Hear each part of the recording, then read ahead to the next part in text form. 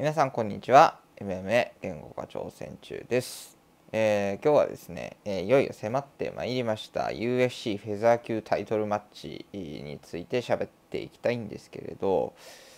えー、まあ、僕はねいつも UFC の注目される試合の時には、まあ、試合展開予想動画と合わせてまあなんでここの試合こうどういう流れになったかって僕なりの見解というかね、まあ、ストーリーも喋っていたんですけれどこの前ちょっとですねあのメンバー限定のライブ配信やった時に、まあ、とある方のコメントで、まあ、UFC はちょっと日本人絡みのしかあんまり見てないんで詳しくないですっていうようなコメントがあってまあそうだよなと。UFC あまり普段見ない方ライジンとか中心の人からするとなんとなくうんとっつきにくいというかうんまあそうなっちゃうなと思って僕もね似たような経験があってなんか友達からねあのこの漫画面白いよって言って勧められたんですけどその漫画がねもう40巻ぐらいまで出てて1巻から読み直すのちょっとなしんどいなでまあ友達曰く38巻ぐらいから読んでも面白いよって言われるんですけどいやとはいえもう38巻からじゃあ騙されたと思って読んでみても全然わかんないってもうその前のストーリー知らないしみたいな感じで その要はまあ全くその取っかかりがないとうんなかなか面白くないですよね、うん、いきなり面白い今度の試合面白いよって言われても。そこでですねまあ僕なりにもう USC よくわからんと普段見てないっていう方がまあちょっと見てみようかなってって思ってる方に向けて。まあ UAC 分かんないんだけどちょっと見てみたい。でもわかんなんか取っかかりがないっていう方に向けたあ動画です。今回の。なんでまあ基本的にはあのなるべくこの今度のフェザー級タイトルマッチボルカノフスキー選手とトプリア選手の試合っていうのがどういう流れでどういう風に見ればいいかっていうことをお話するんですけどなるべく、えー、ちょっと登場人物とかは少なくして、えー、話していこうと思いますのであの、まあ、UFC とかに見慣れてる方からすると、うん、なんか、うん、結構話はしょってんなって感じにはなるかもしれないんですがまあちょっとお付き合いいただければと思います。でですねまああのぶっちゃけちゃうと あの USC よくわかんないって言ってる人はとりあえずランキング見とけっていうのはあるんですけど、まあ、ランキング見てあの何位と何位の対決なのかとか何位が当たるのかとか見ちゃえばまあそれだけでも多少面白くなるんですがまあそうは言ってもねあのそれだけではなはっきり言ってあのランキング見てもあのカタカナの羅列ですよあのよく知らん外国人の羅列誰が何だかよくわからんってなると思うんで、えー、僕なりに喋っていきたいと思います。はいえー、まずですね、えー、少しだけ遡ると UFC のフェザー級にはですね、えー、マックス・ホロウェイというですねまあ非常に強いチャンピオンがあいました、うんまあ、この選手はですねすごくアグレッシブで、え、手数がめちゃくちゃ多い、まあ、人気もある選手だったんですけどこの強いえー、王者マックス・ホロウェイを倒したのが、えー、現王者アレクサンダー・ボルカノフスキーというチャンピオンになるわけなんですがまあ、えー、1回目がですね判定1回目ってもう言っちゃいましたけど判定だったのでダイレクトリマッチでもう一度やることになります。ホロウェイ対、えー、ボボルカノフスキーというのが行われ、えー、この試合2対1でボルカノフスキー選手があまあ勝利2連勝で、まあ、防衛ということになったんですが、まあ、2対1という判定結果うんからも分かるように非常に大接戦だったのでホロウェイが勝ったんじゃないかっていうような意見も結構上がったわけなんですね。で、えー、とはいえですね2回やって2回連続でやって2回負けとるということでもう1回はないだろうという感じで、えー、ウォルカノフスキー選手は他の、えー、挑戦者の挑戦を受けることになります。まあ、ホロウェイ以外にもチャンスを与えようということになるわけですね。で、ボルカノフスキー選手は、えー、2人挑戦者の挑戦を受けるんですが、まあ、これを退け、えー、チャンピオン強しというのを見せつけましたと。で、その間、あホロウェイ選手も同じようにですね、こう上位にえー、上がってきたあもう次は俺にタイトルマッチをやらせろというようなトップランカーとぶつけられるわけなんですがホロフェ選手もこれをですね、えー、退けますと。で結局ホロウェイ対ボルカノフスキーっていうのが3回目が行われるということになりました。で、えー、3度目の戦いでもボルカノフスキー選手が勝利したという結果になったんですよね。で、まあ、結果この2人はですね、まあ、USC っていうのはタイトルマッチが5分5ラウンドなんですけど、まあ、いずれも判定ですがボルカノフスキー選手が勝利しているので15ラウンド戦ってるんですよね。まあ同じ人と15ラウンド戦った上で3回戦って、えー、ボルカノフスキー選手が勝利してるっていうことでまあホロウェイ選手にはちょっとまたしばらくチャンスはもう待ってこないというか3回やって3回負けてるんでうんっていう話にはなるわけなん。だけどまああ USC のファンの中ではホロウェイに3回目のチャンスを与えてもいいんじゃないかっていう意見もあると。でそれはなぜかというとホロウェイ選手がえー、圧倒的に強いんですよね。圧倒的に強くて本当にボルカノフスキー選手以外には負けないわけですよ同じ階級の中であれば。うん、でそうなると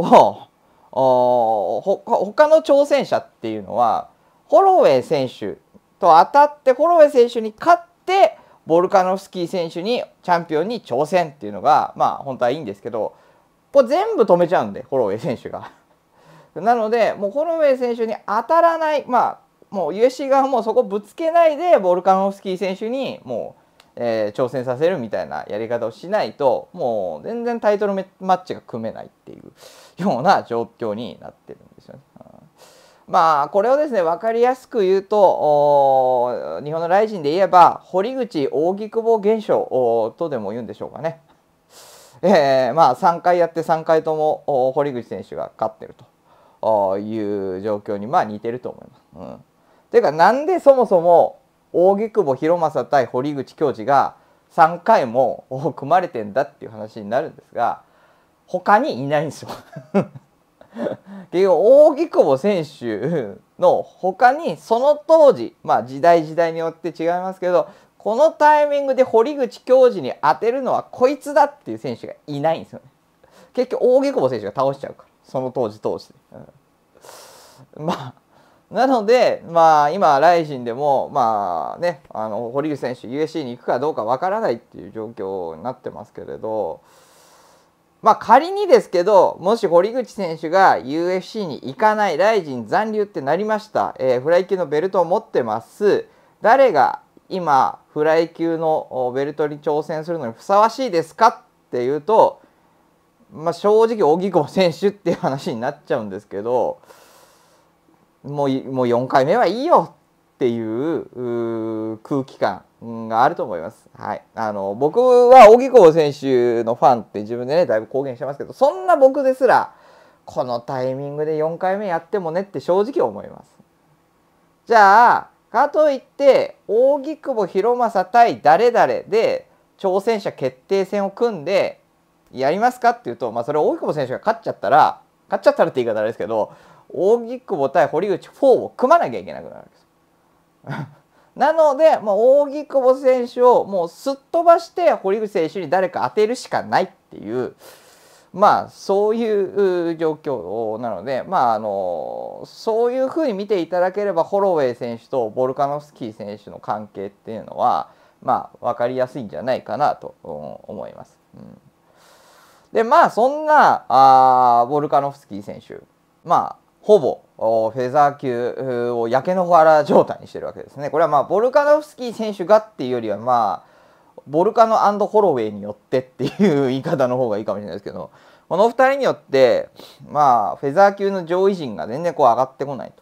ということでボルカノフスキー選手としてはまあ物足りないというかまああまり盛り上がるカードが組めないわけですよねフェザー級で。そこで、まあ、本人の希望と USC 側の、まあ、利害も一致したんでしょう。昨年行われたのが、えー、1階級上のライト級ですねの現役王者イスラム・マカジェフ選手に挑む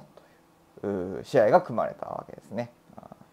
まあ、なので、ライジンで言えば、えー、鈴木千尋選手がホベルト・サトシ・ソーザ選手に挑戦者として挑むというようなあ試合です。うん、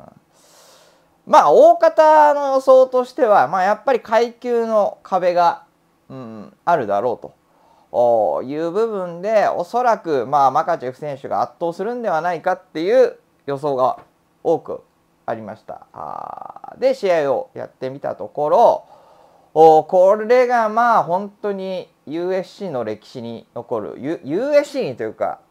MMA の歴史ですね、えー、MMA の歴史に残る大激闘まあ名勝負。まあ僕は、えー、昨年のベストバウトランキング1位に入れましたがもうもしかするとここから5年10年これが僕の中の個人的ベストバウトランキング1位なんじゃないかっていうぐらいのもうすごい高い技術の攻防を見せてですね、まあ、これによってですねまあ試合結果としてはボルカノフスキー選手は敗れてしまったんですが、まあ、本当に接戦大接戦で、えー、判定で敗れたんですがボルカノフスキー選手の人気と評価が急激に上がりました。えー、まあ僕、まあ、以前ちょっとこうインスタグラムのフォロワーをこう数えるみたいな動画も過去出してるんですけどその時ボルカノフスキー選手全然少なかったんですけどその試合をきっかけにですね約1年ぐらいで100万人ぐらいフォロワーが増えたりですとかまあなんか、えー、ちょっとツイッターで見たのなんで本当かどうか分かんないですけどあんまりボルカノフスキー選手の試合はペーパービューが売れにくかったのがその後組まれたヤイル・ロドリゲス戦かなんか結構売れたみたいなのを見たんですけど、まあ、とにかく人気そして評価あボルカノすげえというので、まあ、非常にこう急上昇したんです。でそのボルカノスキー選手の、まあ、人気と評価がさらに上がることがですね、えー、昨年ありまして、えー、先ほどお話しした7あライト級ですねボルカノスキー選手の階級の1個上のライト級のチャンピオンであるマカチェフ選手が、えー、チャールズ・オリベイラという挑戦者の挑戦を受けるという試合が組まれてたんですが、えー、オリベイラ選手があ、まあ、試合直前に怪我をしてしまって急遽欠場となったことで、まあ、まさかの USC 側が、えー、ボルカノフスキー選手に代役を頼んで、えー、3, 週3週間前だったかな？なんかに、まあ、オファーが来てそれを受けて、えー、試合をしたということがありましてまたあのドリームマッチが実現という。う、まあ、しかもこんなショートノーティスでよく受けたなと。何の準備もできてないのに、えー、ボルカノマカチェフとの試合を受けたぞっていうので、まあ、これ評価があって。でこれ試合はね残念ながら1ラウンドでボルカノスキー選手 KO 負けしてしまったんですがまあ、うん、あの試合を受けたっていうことで、まあ、ちょっとこう男だなボルカノみたいな感じでまたこう評価上がったと。っていうようなあ存在でボルカノフスキー選手は。でいまだにその1階級上のベルトを取りに行くっていう意欲も失っていないというそういう選手ですね。えー、なのでまあまあ圧倒的なあ王者フェザー級ではもうほぼやることなくなっただから俺が目指すのは1個上の階級なんだと2階級王者を目指すんだという、えー、チャンピオンボルカノフスキー選手なわけです。で、えー、そんなですねボルカノフスキー選手に、えー、挑戦者として今回挑むのがトプリア選手という選手なんですけれどまああのなかなかさっきお話したようにフェザー級ではやることなくなってもう圧倒的なチャンピオンで誰がやっても勝てないんじゃないっていう空気感がある中トプリアは案外勝つんじゃないかというような声もあります。まあ、まずなぜ、えトップリア選手に期待の声がああるかというと、えー、まずレコードでいうと14戦無敗の27歳ということで、まあ、無敗の選手っていうのはやっぱり幻想が、うん、あるわけなんですけれど14勝のうち12勝がフィニッシュで、えー、判定が2回しかないという圧倒的な強さでここまでキャリアを築いている選手なわけですね。なので、まあ、期待値が上がってるっていうのもあるんですけれど、まあ、その12フィニッシュの内訳が8回の一本勝ちと4回の KO なんですね。でこうやって聞くと、えー、まあ寝技の選手なんだろうという印象を持つ方もいるかもしれないんですが UFC に来てからはほぼほぼ KO 勝ちです。うん、でえっ、と直近のあ直近じゃないか2試合前、えー、のミッチェル選手に、えー、肩固めで勝ってる試合があるんですけどこれもですねもうそこまでもうパンチでボッコボコにしてからの肩固めなんてどちらかというとうん寝技の選手っていうよりはあストライカーあ特にハードパンチャーですね、うん、とにかくパンチが強いっていう選手なのでまあボルカノフスキー選手相手でも一発ぶち込んでしまえばトップリアのパンチが当たればあるんじゃないかと。KO あるんじゃない？っていう空気感。そしてですね、えー、ボルカノフスキー選手は、えー、昨年先ほどお話したようにマカチェフ選手との試合で1ラウンド KO 負けしてるっていう部分でちょっとこうダメージ残ってんじゃないか脳へのダメージがあって打たれ弱くなってるんじゃないか？というようなことを言われています。そうまあ可能性がありますというところでハードパンチャーで無敗のトプリア選手が来るというのでまあちょっとどうなるんだろうねっていう試合ですこれは。うん、まあどちらが勝つのかは分かりませんが、まあ、絶対的王者あアレクサンダー・ボルカノフスキーに、えー、無敗の新星と言っていいですかね、えー、トプリア選手が挑むと。でまあこれに加えるならばですねここ12年ですかね、えー、USC ではですね絶対王者の陥落が続いております。えー、アデサニア選手ウスマン選手シェフチェンコ選手。まあアマンダ・ヌネス選手なんかもそうですからね、うん。まあ、一時代を築いてもう誰も勝てないんじゃないっていうようなあもう何回も何回も長年防衛していたようなチャンピオンがちょっと負けてベルトを失うということが近年続いているというのもあってボルカノフスキーもそろそろなんじゃないかっていうようなあ、まあ、声も少し聞かれると。っていう試合ですねこれは。うんまああこの僕の説明であの USC にあまり興味がないっていう方にどこまできこう届いたのかちょっとわからないんですがまああのファイトパスにねあの入ってない方はちょっと見れないと思うんですけど UNEXT 入ってる方は、えー、見れますのでねあのもし今の僕のこの プレゼンプレゼンっていうのかなで、えー、興味を持った方はあぜひ試合を楽しんでいただけたらなと思います。でまあトプリア選手とボルカノフスキー選手の技術的な試合展開予想はまた後日別で、えー、出す予定でいます。まあそんな感じですね、えー、今日はこんな感じで終わりたいと思います。ではでは。くそこいつのパウンドはいつも重いな。でも脇さえ開けば三角締めだよし完全に決まってる。このまま一気に締め落としてやるぜ。え？